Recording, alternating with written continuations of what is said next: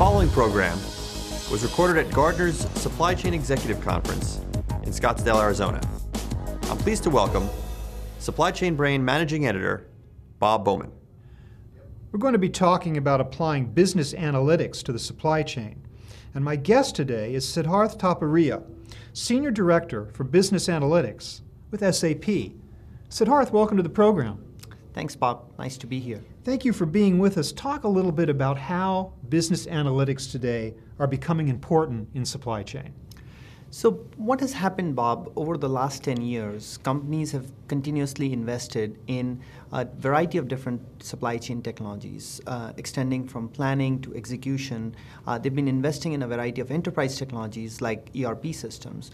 And business analytics is really a way of getting information out of those investments, getting data and analytics out of those investments. So, being able to measure and monitor your supply chain and being able to diagnose where problems might be in your supply chain so that you can improve performance against certain benchmarks or against certain targets that you may have set for your supply chain. What do we mean when we say business analytics? Is it a series of processes? Is it a series of IT solutions? Uh, are they algorithms and a lot of math, or what exactly are we talking about? It is a combination of a lot of these things that, that you described. So, at a very simple level, business analytics is a way of measuring performance for your enterprise. In this case, specifically measuring performance of your supply chain.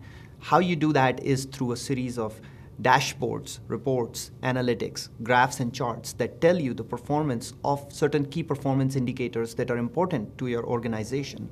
So, depending on what strategy your organization is following, whether it is to um, make most efficient manufacturing or optimize on costs or be the most customer friendly organization out there, uh, you may have certain different key performance indicators that you want to track measure and monitor and business analytics provide you an easy way of doing that where from your executives in the boardroom to people working on the shop floor in your warehouses, everybody can have information that they need to do their jobs better, easier, more efficiently.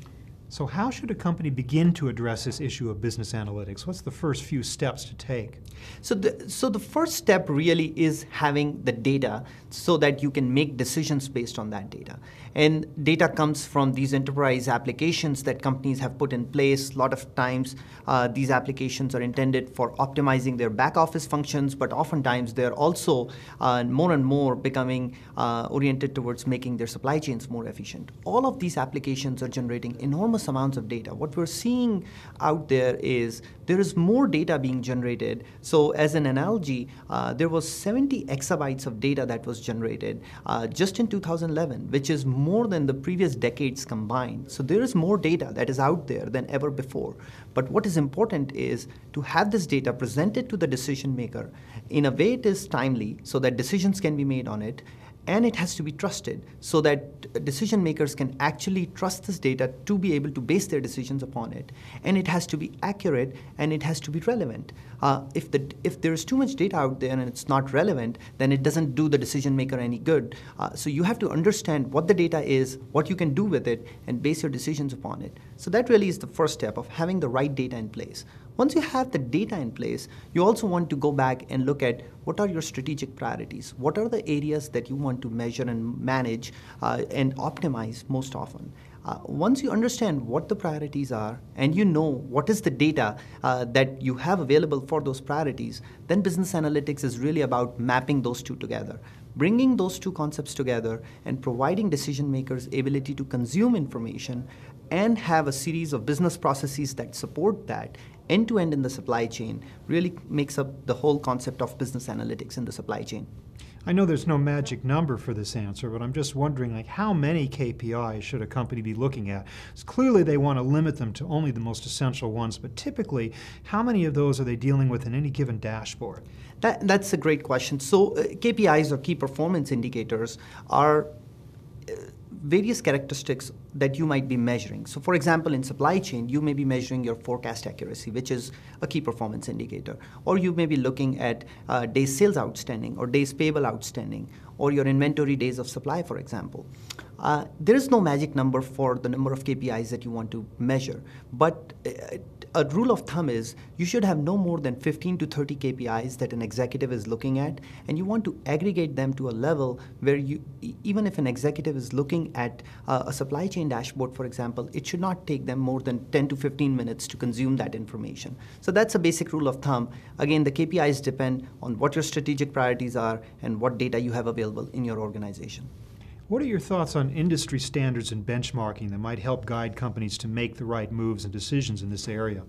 I think benchmarking is becoming more and more important. So, what we're seeing when we talk to our customers is they're not interested in just looking at their performance in isolation, but they, what they want to do is they want to compare their performance against the industry in general, which is where benchmarks come in. And they also want to set targets for themselves based on those benchmarks, and they want to be able to achieve and exceed those targets. So it's extremely important, and benchmarks really come from a variety of different ways. But the most common thing we see is there are industry bodies like the Supply Chain Council, which has the supply chain operations research model or the SCOR model, uh, and they provide a benchmarking service which can be utilized uh, to compare your performance against either your industry or uh, a variety of different companies that you might be interested in comparing against, so that you are not only differentiating uh, on the key characteristics that you agreed on, uh, but you also know where you stand against your competition. So, in each of the different areas of the SCOR model, plan, make, source, uh, deliver, return, you can you can look at each of those and you can come up with uh, KPIs in each one based on benchmarking the the best practice leaders. Yeah. So what the SCOR model does is it provides you key performance indicators, definitions of key performance indicators against each of those areas that you described. So starting from plan, make, source, uh, deliver, return, you have KPIs from that end-to-end supply chain perspective. Now, what you want to be able to do as a supply chain organization is understand which are the KPIs that are relevant to you. Once you have identified those KPIs, then you want to be able to benchmark against the competition and see what the competition is doing or what your industry is doing. Where are the areas that they're doing better than you so that you can excel and invest in those areas of priority. So that's really where benchmarks come in. Once you get a dashboard in place with that number of KPIs, do you is it desirable at that point to get into some kind of exception management where you're really only noticing when things go out of tolerance, or should this stuff be checked all the time just as a matter of course? Um, so the it is much better to look at uh, diagnostic mechanisms. So it is better to look at problem areas rather than looking at everything that is doing well. So you don't want to look at a dashboard that is green. You want to be able to look at specific areas that may be red, and they'll not be red every single day. They'll only be red on certain days. So what you want to do is you want to be alerted when a certain KPI is out of bounds. Uh, you want to be alerted on a mobile device. You want to be alerted by email by a variety of different mechanisms. Hopefully as soon as possible, so that when your forecast accuracy is out of range, you can quickly go after that issue and address it. Or when your cash to cash cycle time is too high, you can go after that issue and you can understand what are the factors that are causing this. So it is not just important to have diagnostics so that you can be alerted when things are going uh, wrong, but you also want to have the ability to do root cause analysis. So you can actually drill down, starting at a top level. Uh, if certain things don't look right, you want to be able to drill down, get to the bottom uh, of that issue which customers might be causing it, which products might be causing it, which regions may this issue be happening from. So you want to be able to understand the overall uh, reasons of why a problem might be occurring in your supply chain. How can business analytics be used to measure risk?